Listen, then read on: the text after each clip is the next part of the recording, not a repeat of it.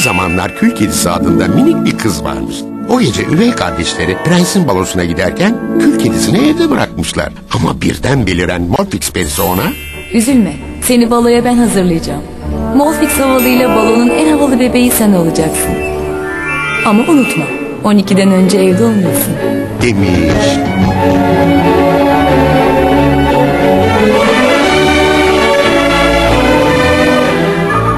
Kedisi balo salonuna girer girmez prens koşup onu dansa kaldırmış.